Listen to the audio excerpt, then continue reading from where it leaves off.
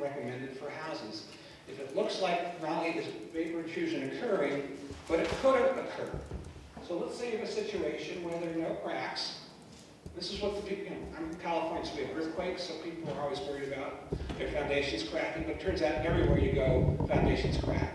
Or maybe somebody drills a hole to put a wire or a pipe through. So let's say there's no contamination inside, but there's a whole lot of contamination in the soil gas.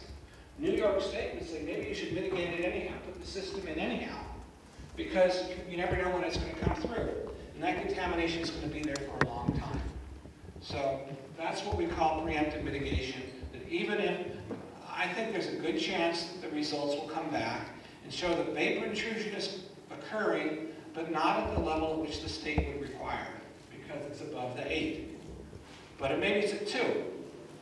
Well, for me, given the fact that sampling to show that it's going to stay at two is more expensive and risky than putting in a mitigation system, then I would go with a mitigation system. Now there are a lot of variables. One of the New York City's, this school with the with the, uh, the manufactured gas plant underneath. Anytime you, you you drill holes under that building, you're taking certain kinds of other risks. So you have to weigh the entire situation. But preemptive mitigation is more and more being done. And one of the benefits of it is it protects against radon intrusion. And radon intrusion, though naturally occurring, is actually a greater threat to public health in most locations than TCE or PCE exposure. Because radon, at, you know, at naturally occurring levels will come into a building at a level, I talk, we've been talking about 10 to the minus 6, 1 in a million excess cancer risk. They're talking about 1 in a 1,000 with radon. It's that dangerous. It causes lung cancer, and the risk, maybe it's 1 in 10,000, I don't remember the exact number. And then if people smoke, the risk is even greater, the combination of smoke and radon. Over here. If you use mitigation, would you not want to continue to test to make sure that the mitigation is in fact working? So what you typically do is you would sample once or twice, you would sample the indoor air after the mitigation, and then you would do free, more frequent pressure testing to make sure that you maintain the pressure differential.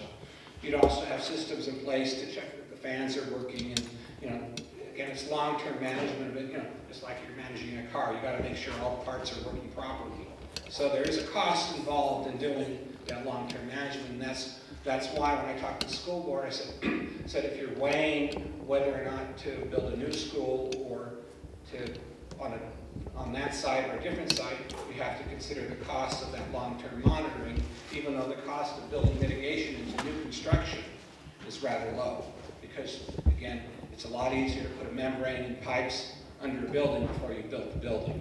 So again, the costs are relatively low. Sir?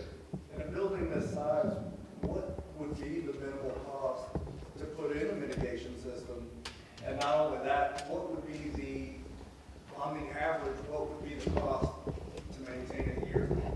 To make sure that everything is going right? I wish I could tell you, based on a New York site, a complicated New York site, it would probably the hundreds of thousands of dollars. But I, uh, you really need somebody who knows more about it than I do to give you a better answer. Yes? Um, back to the page where it talked about deaths per million, the numbers for that. Um, understanding that the state's gonna base this on deaths per million, the parents are concerned about adverse health outcomes. A lot of us have talked about our kids having headaches and other things. I have friends who had kids who went there three years who have epilepsy and other things Yeah. that, you know, we didn't know about it then, so we didn't know to test Right. for it. Um, can you speak to health outcomes that don't necessarily result in death, Right. that could be neurotoxic Okay. related? I'm not a toxicologist. What I've heard from toxicologists is that the number, that the levels which you would have to have to cause headaches, acute health impacts, are much higher than this. Now, one of the other New York City schools I've worked with at the Bronx New School actually had TCE measured in the school at 50 micrograms per cubic meter, and they ended up closing the school. Unfortunately, they didn't tell the parents. Uh, they, you know, they found this out in February March, and they closed the school after the end of the school year, and then they told the parents. That was a very bad deal. Uh, but the kids were complaining of things like headaches, and they had high levels of TCE. So I hypothesized that not that the TCE was at 50 was causing the headaches, because the scientists told me otherwise, but the school was poorly ventilated, that they were getting accumulation of carbon dioxide inside that was causing headaches, and it was causing the vapors, the TCE vapors to accumulate inside. So I gave this theory at a public meeting, and a man raised his hand saying, I was the janitor there, and you know those vents in the ceiling, they were closed off. So sometimes the causal relationship isn't clear, that, that both things are caused by the same problem, which is poor ventilation. And again, I'm not an expert in this area, but I know some of, some of those rooms don't even have windows. They have single room air conditioners. Um, I would, you know, if kids are complaining of headaches, I would be asking how well ventilated are, the, are those rooms? Because there may be something going on along with vapor intrusion rather than the result of vapor intrusion. Sir? With regards to the TCE screening levels, uh, that, that point four three, between federal and, and various state agencies, what is the range of the screening levels, or is everybody on the zero point four three? Everybody's on .43 now. Um, California's number, well, what California's policy, uh, as this policy, is you always go with the lower number, the more protective number. So California has deferred to EPA. Um, the situation we're having at the Air Force Base is that EPA and, this is for PCE, EPA and the state of California say you should use .41 and the Air Force says no, we use the federal standard because we're in states all over the country. And that's a, a, a current dispute, a, legal dispute at Edwards Air Force Base. So I think the other thing to remember, and that this will have to be part of your decision-making, is Lenny has presented the one in a million, right? But that's actually not a common, it's not always the risk that's actually used at vapor intrusion sites. So oftentimes it might be one in a hundred thousand, which moves the decimal point, right? So if you're at 0.4, that's gonna mean four, if they decide that the protective limit is only one in a hundred thousand. And then sometimes maybe only one in 10,000. So then that moves it up to 40, right? So although they might all agree on that, the way to calculate the risk, the way it's applied in a risk management scenario can vary those two orders of magnitude. So Nevada uses one, one in, in 10,000. But in terms of one in a million, that zero point four three is universally accepted as, uh, Yes, in the US, yes. Are, are there different standards on each, for either one of them in Europe? Or I don't know what the standards are abroad. They're- Yeah. They're behind us. I'm going to Australia to a conference in September, I'll find out what they do. Intrusion sites. But it, but it, but that probably flows in the opposite direction. And kind of continuing along with that, I mean, some of the calculations of risk that we've seen are kind of prorated to the time that children are actually in school. So, I mean, how do you feel about that calculation applied as opposed to the straight point four one, point four difference? Because in a few weeks, we're gonna be getting these values presented to us, and we need to know what to make a decision on. Um, Yeah, um, I've been told that the state of North Carolina applies the residential standards, not the commercial standards, to schools.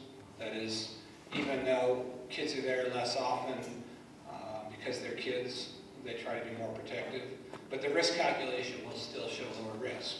But, but they, a lot of places, like in, in, in Georgia, uh, they say the risk, you know, isn't as great, but that because it's kids, we'll mitigate anyhow. And that's, that's a fairly common response uh, just socially. Uh, we seem to care more about the health of the children uh, than, uh, than older folks. So so since we have So I just, let me just follow up. So, you know, I think I'm, I'm, I can't answer that question for you. And I haven't seen these other risk calculations you're referring to, but maybe I'm assuming you're talking about if we consider those students only exposed for three years for a school year, right? So. maybe 180 days plus. Yeah, we talked about that in board meetings. So I'll answer that kind of from a parent's perspective of myself, right? that might be the only exposure in school, and I would then want to consider what other exposures I know my child to be exposed to. Now, that's tricky, right? And that, that puts, I mean, I, and I don't have all the right answers either, and I try to have a healthy home for my kids, and it's tricky because we don't have all the information. But there are these indoor sources, and EPA published a survey of these, and it showed that in a survey of how, of samples collected in indoor air, over 60% of the samples contained PCE. This is in the absence of vapor intrusion. Over 40% had buildings with um, detectable levels of TCE. So we know that this is already in our indoor air. So I think that not only the decision at the school, but also a personal decision of what you choose to reduce your child's exposure, right? Because you have multiple ways to reduce exposure. And it's, it's not just what the inhalation risk. So I've been told by some leading, leading, leading experts that TCE that's inhaled has the same impact on the liver as drinking alcohol does. Now, I'm not suggesting that your middle schoolers are drinking alcohol, but maybe when they grow up, they will. So when you talk about cumulative risk, it's not just breathing the same chemical, it's what are all of the other chemical exposures going to do to put them at risk. And that's why the, the, the number of years exposed doesn't make me feel that they're entirely safe. Um, but just one, one more numerical thing, at places like the Google building uh, in Mountain View, the standard is typically five times higher, that's less protective than it is for residential buildings because of the number of hours people spend at work versus at home. I have one more thing I wanted to get into. Oh, here. I just want to comment too, uh, because I think I hear you asking, uh, I thought I heard you say, we're going to get these numbers and we're not going to really know how to interpret them. And Yeah. one thing that I hope we can offer coming from the Superfund Research Program is some assistance to you in that respect. And we have a colleague at Boston, and I also have a colleague at UNC, though he's now in Texas, um, who are uh, extremely knowledgeable toxicologists, health scientists about TCE and PCE. And so um, I would like to get back to, I guess, whoever the parent contacts are, certainly Tracy's one, but any other parent who wants to check in with us after the session about how we could follow up and potentially make those folks available so they could at least give you an expert read on these data. That's part of why we're here. So, so like, is, is the three experts up here, I mean, is there consensus amongst you on that 0.41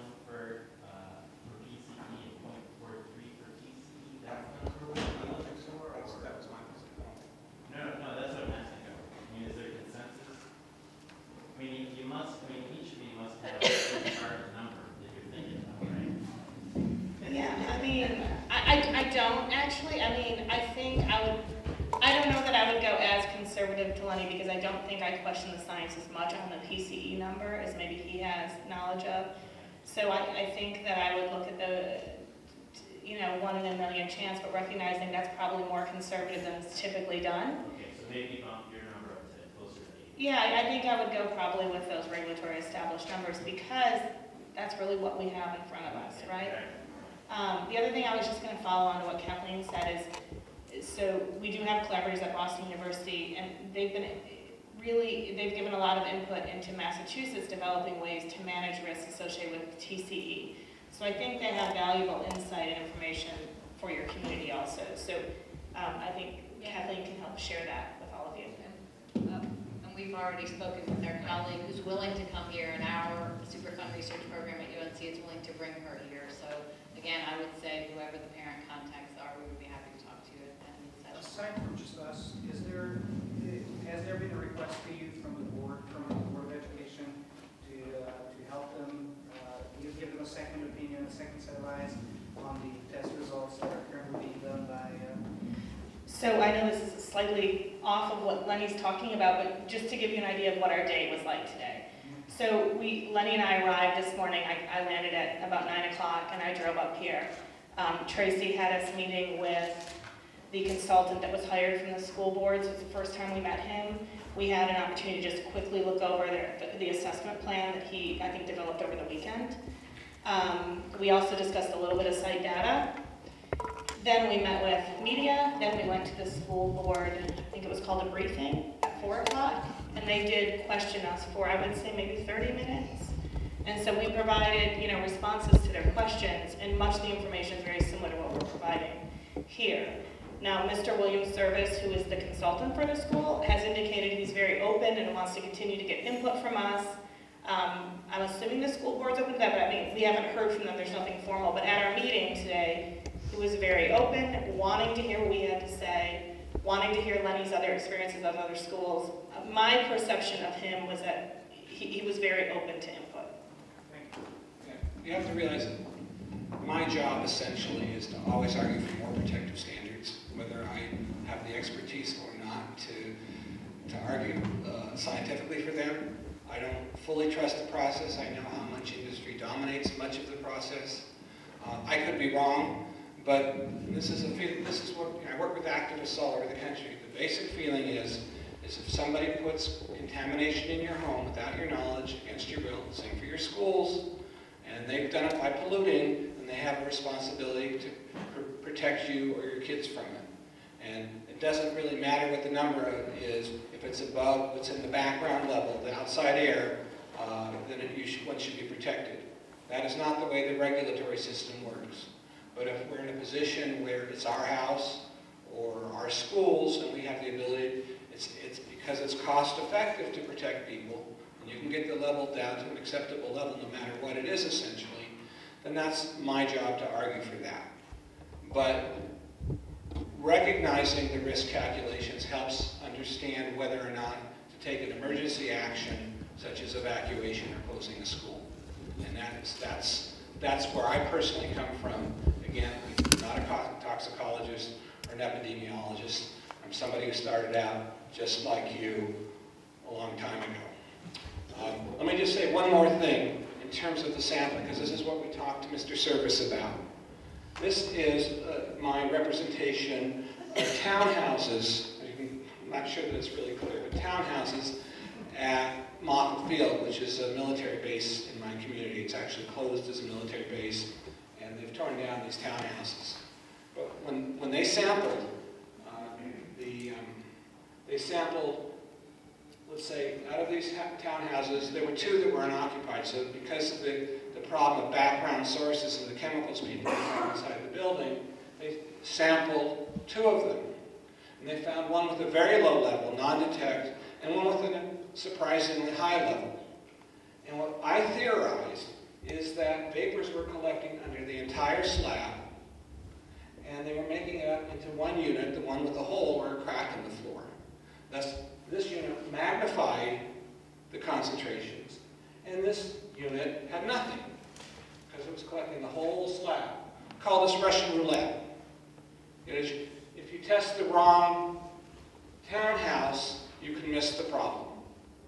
So what I urged, and Mr. Service is, seems like he's planning to do it, is in every distinct airspace, every classroom that has a distinct airspace above the plume, be sampled.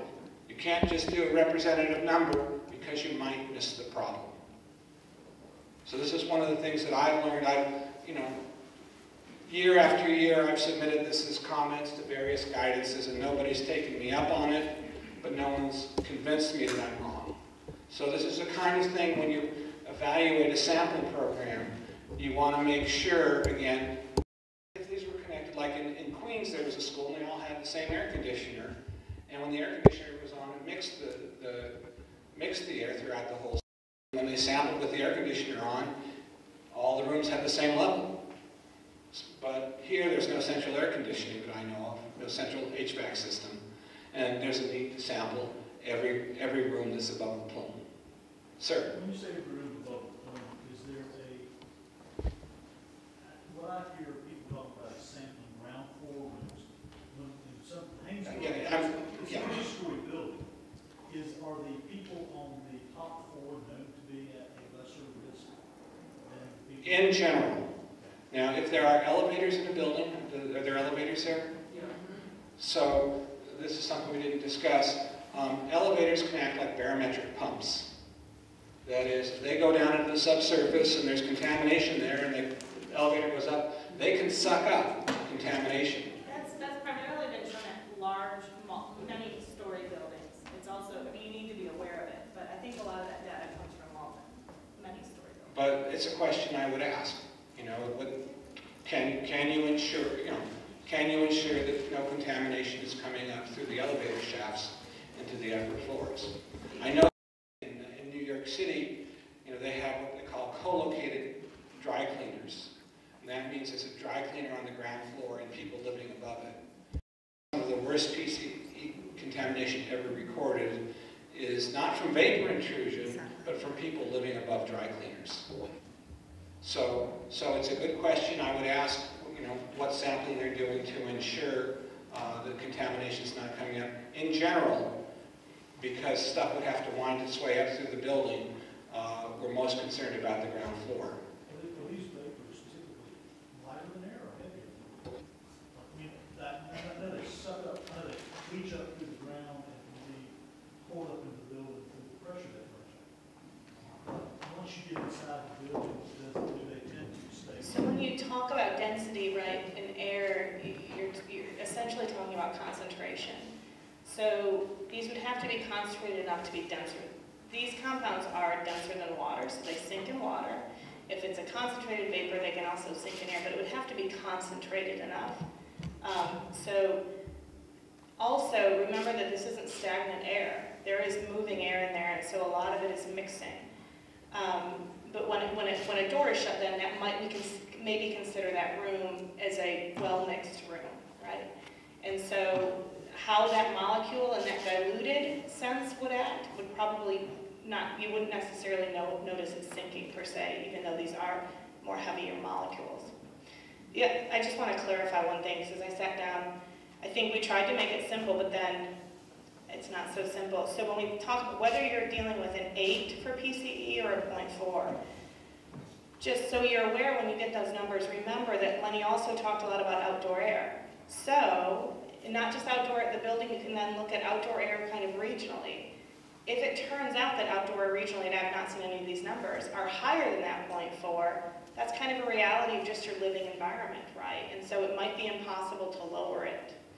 Um, so just be aware of that, right? Plus, I imagine that they'll eventually be compared to some kind of background study where PCE is, so those are all numbers that are gonna play into this, right? It's not gonna just be that health. So I just wanna make sure that's clear. Can I have uh, one question for Kelly and Ellen?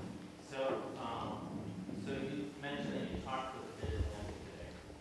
Just yeah, briefly. Yeah, briefly, but, uh, from a brief talk with them, uh, their discussion of their proposed sample program they have, do you think it's sufficient? Or should we ask them more questions? So again, it was a quick look at what they, they weren't even finalized plans. I think that there's a lot of things to consider. One thing is time and constraint. The way that you sample is to install, the first thing you're actually gonna do is collect indoor air sample. 24 or 48 hours, I think they're thinking about, uh, uh, I'm sorry, 24 or 8 hours. I think they're looking at about 8 hours. But just the amount of time to put that sample in. Then you come in and you literally drill through the floor. You then have to seal the floor. You then have to leak test and make sure that you don't have any leakage with the air, and you actually do this with helium testing. Then you collect your subslab sample. The time to do that over a weekend, it, that's a very quick timeline. Um, we've done this, and it, it, it takes a little bit of time. Based on that time constraint, I feel like he was targeting the areas that we would think would have the most concern. But I was honest, I said, look, I wish you could sample everything, right? Given those constraints of a weekend, I think this is a first good swipe, and I kept saying, I think this is a first preliminary step to get some data. And, and so I, s- I suppose based on that, since they'll have to do some, some tests, we would probably release the data until they have more information from, uh, soil tests and also. They- they- They're doing a few outdoor samples, something like 31 sub-slab samples, and a comparable number of indoor air samples, all at the same time. And that should give us a good picture, and when, once we see the results, we'll know whether that's enough to make a decision. Uh, It depends upon what the results show. My guess, based upon the groundwater and the soil gas from past sampling, and having seen other sites around the country, that we may find that there is vapor intrusion occurring at a level the state of North Carolina and US EPA find acceptable. And then you just, if that's the case, you decide whether you want to do more sampling, it could be a lot more sampling, or you do preemptive mitigation. And what we suggested, and it's not a firm recommendation because we don't, haven't seen the data yet, but we suggested that they consider preemptive mitigation. And indeed, Mr. Service today, talking to the school board, said that might be the way to go because it's more quickly protective and it is actually less costly than doing sampling over and over again until you know what the real answer is. Uh, Again, these are site-specific decisions. I don't have a cost estimate on the mitigation for this school. Maybe there are all kinds of pipes and wires underneath that'll make it much more difficult. Um, You know, it's just like when you deal with residential basements. Um, You know, there's, you know, I say it's only four or five thousand dollars, and the guy from EPA in Boston shows a slide of somebody's basement that looks like my basement, and it's filled with, with crap. And so it cost twenty thousand dollars because somebody had to clear out the basement, fill the cracks in the concrete, and then put in the system. So you can't, you have to be careful about generalizing too much. But working from the generalities, that's a logical approach um, as a way to handle the existing buildings. I see two more hands, so you, you, What you're just saying there, is it more cost effective if they're gonna be tearing down buildings to rebuild other ones to save the sampling from those few buildings that they might have done? Is it per building that they're gonna be paying out the, uh, tons of money for to get the sampling? I mean, the buildings that will be standing there at the end of construction of all the other sites, if that goes through, would be the ones that we'd be most concerned about.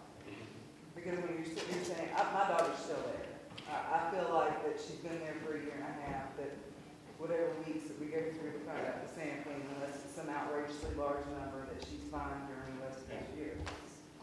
But, you know, I'm looking at the long-term effects, of if this is really gonna be something that they wanna do, or is it something that parents are gonna be worried about 15, 20 years from? Because I don't want anybody to be where I've been with this. know, what, what, I told the school board is that it's, it's possible to build a safe school, but it's gonna take somebody paying attention to the risk for a long, long time. And so in New York City or Los Angeles, where you don't have an alternative, you build on a contaminated site and you make it safe. In uh, rural Minnesota, where there was a school built on a Superfund plume, I said, why didn't they just build it a half a mile down the road where they've got clean prairie?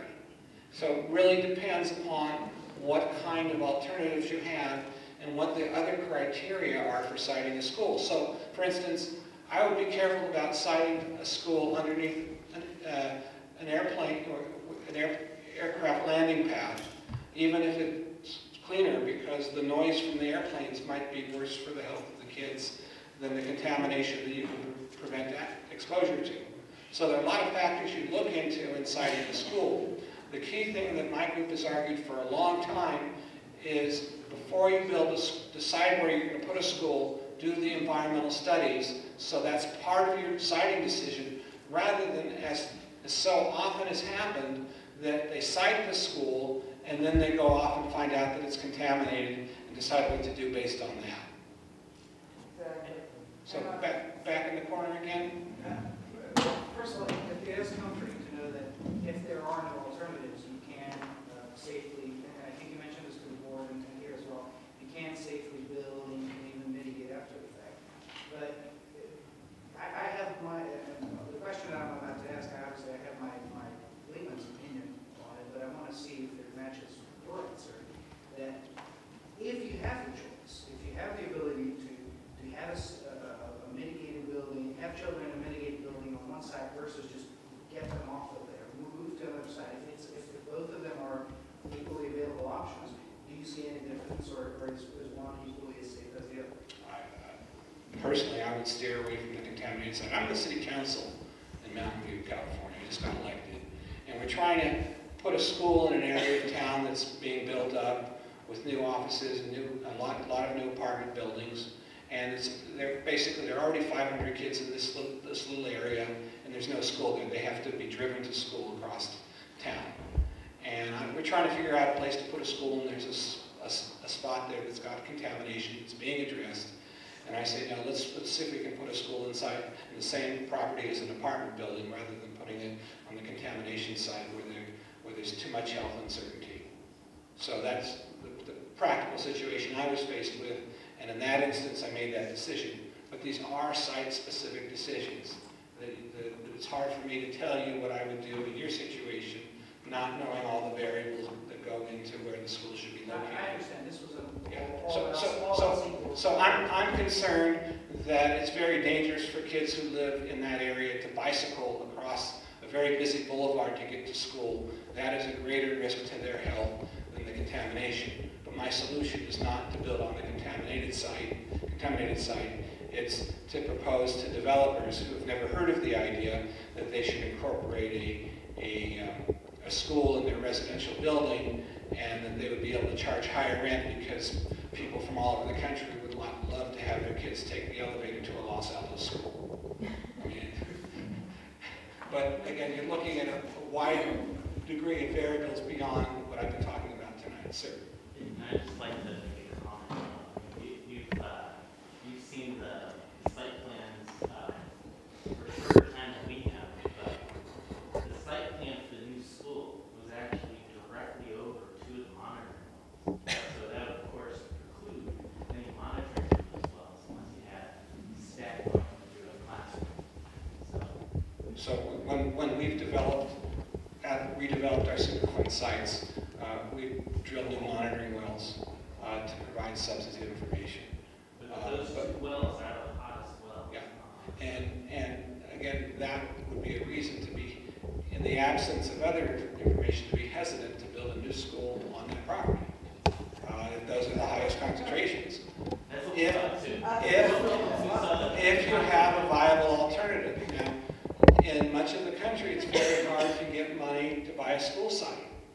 So obviously, the school board's going to be looking at the cost of the school. If they already own the land, uh, that may be a problem. On the other hand, if, you know, if you're going to build a new school, maybe you want to build it on a different site so there's a place for their kids to go to school while you're tearing down the old school, and maybe there's somebody you could trade property with who doesn't have the, the concern that they're going to be putting kids on the property. So there, there are a variety of ways to solve that, and again, it's beyond my expertise and knowledge uh, to know all of the factors that, that went into looking at a school, school site, siting the school, you know, rebuilding on the same site. The, the key thing that, that, you know, I speak EPA conferences, the engineering geologists had a conference in, in, um, in, near the Raleigh-Durham Airport last year. The key thing that I tell everybody that the consultants, the polluters, we call them responsible parties, uh, the regulators like EPA and DENR, uh, it's your responsibility to do your best to inform the public. And while you think the public is going to react irrationally, you'll find that they'll act most irrationally if you don't tell them the truth. Oh, yeah. And I think the school board here has probably learned their lesson. I'm not sure, I'm not sure who was responsible for not letting the public know what was going on there. But I've seen this time and time again across the country that, that government officials don't want to panic people, so they don't tell them anything, and maybe some of them never hear about it, so they aren't panicked. But when people hear about it after being denied important information about their health, their property, and their kids' health, they are going to be suspicious of anything that they hear. And I say this time and time again, and some people get it, and some people don't. And that's why we want to thank you for being here and all of y'all and for you for bringing them here because we can't find the information online. We can find some, we can find parts, piecing it all together taking hours of our lives. For y'all to come and explain it to us today, we really appreciate it. Well, you're, you're so very welcome. Speaking of online, my website is cpeo.org. CPEO stands for the Center for Public Environmental Oversight. So if you go to that page and you click on the Brownfields tab, and you'll see that there's a special section on vapor intrusion. And so I've written up, I don't know, a couple dozen, must be a couple dozen of these sites that I visited, mostly schools, uh, that give you more background on some of the case studies that I've mentioned, as well as um, our stakeholders' guide to vapor intrusion. Now, until this came up, I was supposed to be rewriting that. So it's, it's not rewritten yet. Uh, But again, I'm not, I'm not a hydrogeologist, an epidemiologist. I don't have this expertise. I come at this with the background of being a local activist. And the expertise that I've developed over the years of going to all these technical conferences is that it's my job to translate what the experts do into English. Uh, I don't generate any of this information myself, so I, to some degree, I'm relying on them and trusting them, but, but also ask, I ask them a lot of hard questions uh, because they uh, are so used to talking to each other, uh, they don't always communicate well with the public exactly what they're trying to say. Yes? And where can we find information on this specific site in terms of, you know, when the contamination occurred, how many years, talking about? Yeah. The, the depth of the, of the um, underground plume, the, the size, the depth, um, all of these things, where is the best Can, can, can you put the documents that we've received on your website? Yeah, that, I was gonna, we were talking this morning about maybe Sure. creating a page.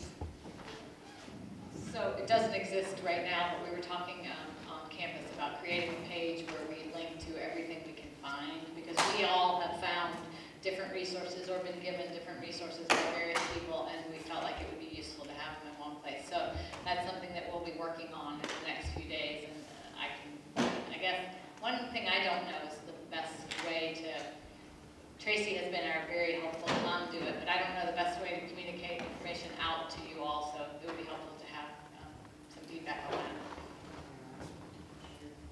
I think this question probably would be, yeah, one of the things that I can't seem to find is research that states or proves that there's not other health risks associated with these two, these two toxins. And what are the genetic factors that our children may already have that is gonna predispose them to these factors? These are things that are very important to me as to whether or not my child goes there, I find nothing on it. In Well, terms of, in terms of understanding the various factors that go into environmental diseases, the genetics versus environmental, will all be dead and gone before we understand that. But the, the people who know, who are researching it, don't have the answers.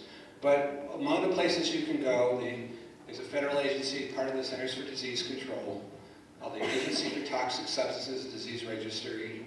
They have the thing called ToxFAQs, T-O-X-F-A-Q-S. Those are the, the simplest summaries of these, the, the impacts of these chemicals.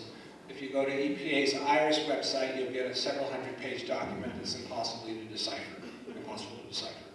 Um, I've tried it. Yeah. Uh, So it's, it's hard, and the thing about it is there are disputes, I've mentioned some of them, about how dangerous these chemicals are. Because we don't, you know, it's, it's not as if we could put our kids in a room and expose half of them, like Crest, expose half of them to the chemical and the other half not. Uh, We, you know, we, we just, we don't really know, and we're doing the best based on animal studies. The one area where there- there's, you guys can talk, maybe talk about this more, uh, high throughput studies where they, you know, it's like, almost like DNA testing, where they, some, you want to explain that? Heather, you might think, no, you don't. I know. Okay. No, but there is new toxicity testing to move away from animal studies where you could look at um, different indicators of toxicity, because as it is right now, animal studies are expensive. So the way that most toxicity data is gathered is through animal studies, and you have, and you have to remember that in order to get a health outcome, you typically have to expose them to a much higher level, right, than you would typically be exposed to in the environment, because you need that outcome to occur in a short time. You don't have 30 years to run an animal study, so you're doing all of these approximations. So NIH is very um, investing in research to look at different toxic- toxicity indicators and different ways to evaluate that. Is that adequate? And along on that thing is, is, because I even heard um, these serious illnesses that are undiagnosed still yet today. I've heard about two from other parents. My daughter specifically had one last year um, in that hospital with, you know, through diagnosis. Is there any group that is really interested in at least questionnaire, retrospective, even if we have low levels or maybe blind before we even know um, at what this has done for our kids or if it did anything or if it was other levels? Who knows? But I haven't heard anybody say, you know, another website that I think um, we could post for you, and what I think you're asking for is something like a health study. And there's a lot of times that you might want to do that, and uh, based on the little bit I know, and again, this is in collaboration with an expert at Boston University, I don't think you're there, and one reason is you really want to find out what you want to know from that health study. You're talking about very low levels of exposures that haven't necessarily been. And so you might find out nothing, which is not going to be helpful to you, right? Um, But we can post a website that helps you kind of think about how you might want to consider that. It wasn't I mean, I'll call you in a second, sir. Um, So in Endicott, New York, they've been uh, mitigating vapor intrusion. This is an old IBM plant going under a neighborhood. 500 homes are being mitigated. Uh, They actually mitigated the whole area without sampling all the homes. And the community there wanted a health study, and they made arrangements with the congressman and all that. And they ended up doing a health study of IBM workers where there were thousands of people whose exposure they were better able to document. But the 500, 500 homes didn't have enough people, and they didn't know what the exposures were. The health study wouldn't have made any difference. It wouldn't have shown anything. And usually those kinds of health studies for residential populations are inconclusive. And there was a, it wasn't really a health study, but a, a, uh, a survey, census survey, because California has a cancer registry, and they looked at three census tracts near my house that are near the plume that I work on, and they found, they looked at three diseases that are associated with TCE exposure. Liver cancer, kidney cancer, and non-Hodgkin's lymphoma. And non-Hodgkin's lymphoma is personally important to me because that's how my brother died. So they looked at all three of these, and for three different time periods, and for one time period, for one of the diseases, they had a doubling of the cancer rate. And the TV station, NBC, uh, I-Team, uh, which is not known for its placid approach to these issues, wanted to get me to say that the contamination caused the, that spike in disease. And I said, nobody's drinking the groundwater, we've been sampling homes, and we only know of three homes that are impacted, maybe there are a couple more. Maybe there are people who work in contaminated buildings, but they aren't part of the, the, the census tracts. So we actually are pretty sure there weren't exposures, so it's pretty hard to make that association. So you can do various kinds of studies, but unless you know what you're looking for and you have the right kind of data, it's not going to be very useful. And so, so one of the things we were talking about early, earlier, and I think about this in terms of my brother, because I could never figure out anything that he was exposed to that might have caused his cancer, is that all we can say about exposure to most of these chemicals is that they increase the risk of disease. But we don't have the science, other for something with something like asbestos exposure, which has a fingerprint. We don't have the science to prove individual causality. So do we wait to be able to prove that? Or do we say we know it's likely to increase the risk, therefore we should be preventing the exposures? So every community that has a problem wants to do a health study. Because people want to know that the polluter caused their kid's disease. It wasn't that they forgot to burp them when they were a baby or something like that. We all want to find somebody else that's responsible, responsible but you generally aren't going to find any kind of a linkage. Camp Lejeune had a huge number of exposures, and they have some results, even those are somewhat inconclusive. So my, my, what I tell communities is don't waste time on a study, waste, spend the time making sure your kids are protected, and if necessarily, if necessary, overprotected. But, but the study is not going to help. Back in the corner. I, agree completely with that, that is what, that it should be on the, just out of curiosity, uh, and I- because I've, I've heard that there are many schools all over the country that are over similar uh, size. Uh, Has there ever been a, a, a comprehensive immunology study? I mean, the school's been there since fifty-one, so there's, there's over sixty years worth of data if you look at students and teachers who have gone through that, uh, that site, worked in that building, went to school in that building, uh, to see if that, and so you're talking thousands and thousands and thousands of people, very good size, uh, sample size, to see if there are any uh, abnormalities over there. This is what they looked at at the Bronx New School, where there were actually confirmed exposures. We believe, for 20 years. probably at 50 micrograms per cubic meter of TCE or higher. And we know that because they built the school in the industrial building, not on the side of an industrial building. They built it in the industrial building above the contamination without vents, right? So we know they were exposed. They had no way to track what happened to the people who were in school 20 years ago. And if you rely on voluntary reporting, you know, did you work there, did you get sick, you're going to get a skewed result. So it actually turns out to be extremely difficult, even if the, what- even if the Department of Education had addresses and, you know, email addresses and phone numbers for the students that went to school there. So, so, again, we don't want to, ex- I agree with, I agree with that, the focus should be, I just curious. yeah, So so, so, there, there was one more question. Okay. Yes, sir, right here.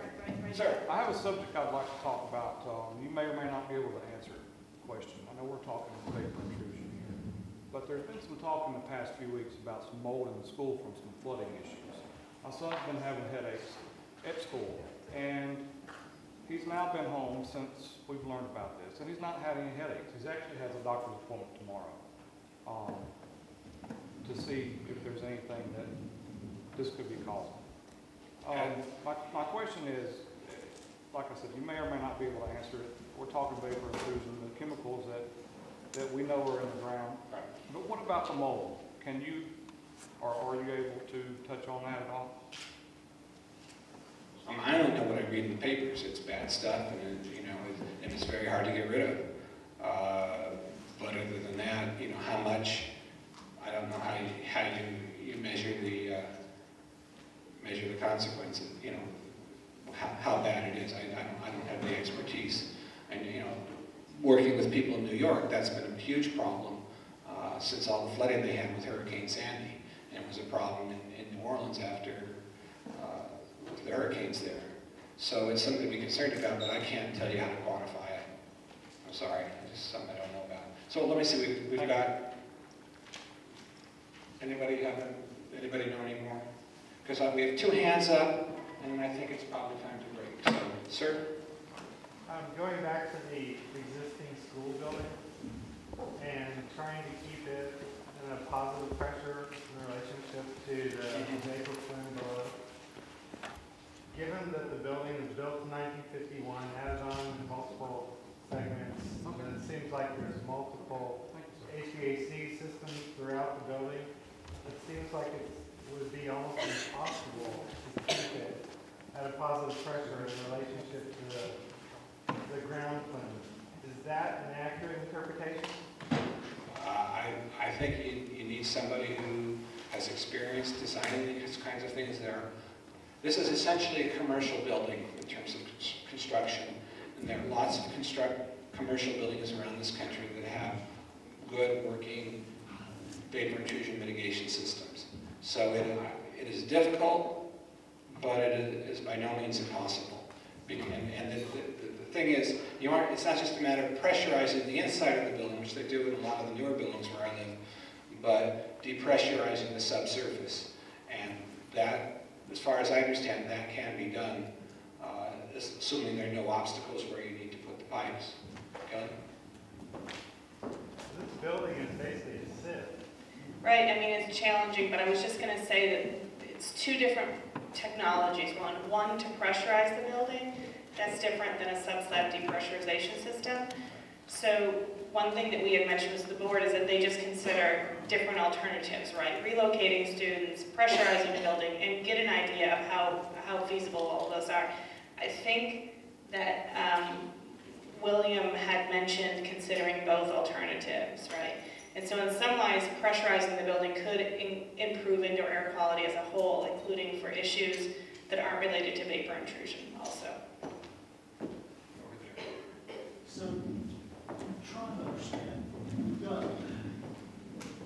we've got groundwater monitoring that's been ongoing from several well sites over a period of years. We've got several data points from air sampling that was done eight to ten years ago. And we've got one set of data points from air sampling that was done a long time last year. Is it possible to say, with any reasonable degree of certainty, that we know what the airborne contaminant levels have been in that school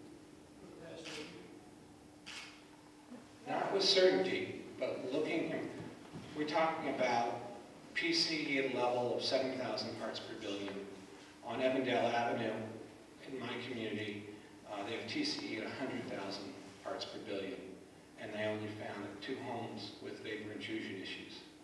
Um, So, um, looking at the pattern, the magnitude, um, I can guess that they have not had very high levels. They have not had high levels, let's say above, above 20 uh, micrograms per cubic meter, uh, average levels over the past several years because of what we see. But don't, don't believe me. You're basing that on your experience. Yeah. As opposed to any data we've got. Right, right, so don't believe me, wait for the results. If you find a high result now, then you have to say, how representative is that of what it's been over time? And again, you can't be sure, we know there is temporal variation. This is, a winter test is supposed to be a worst case. If that's the worst case, how would you average that over time? Because for the chronic risk, you are averaging. Uh, so, uh, we have some idea, but again, data is better than modeling, is better than guessing. Although you're, you're a very good modeler.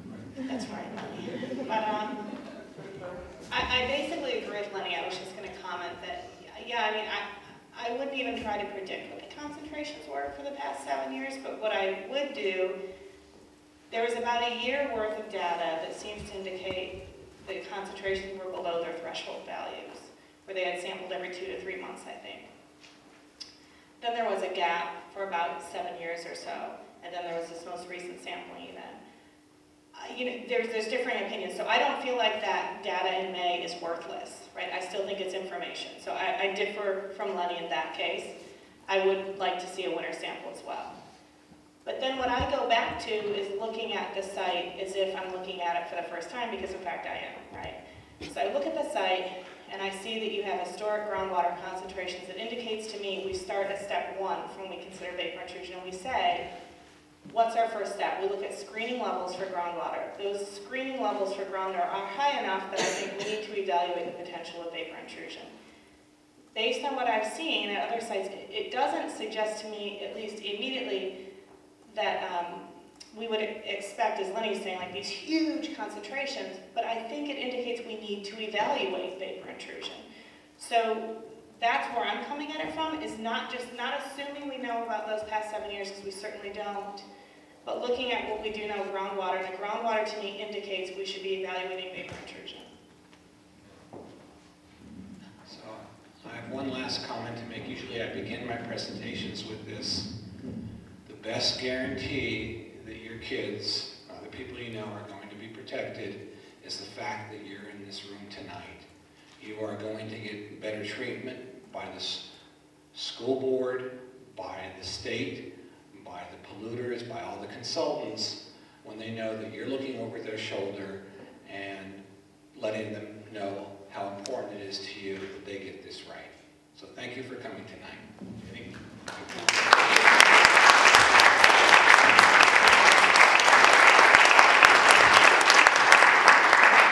I, I just want to say thank you so much to both Lenny and Kelly for traveling to be here with us tonight and um, invite anyone who's been here to come up and follow up with us so we can figure out the most effective way to communicate with a broad group of parents. And if you come talk to me about mold, um, we have some resources in another center at um, UNC that relate to mold.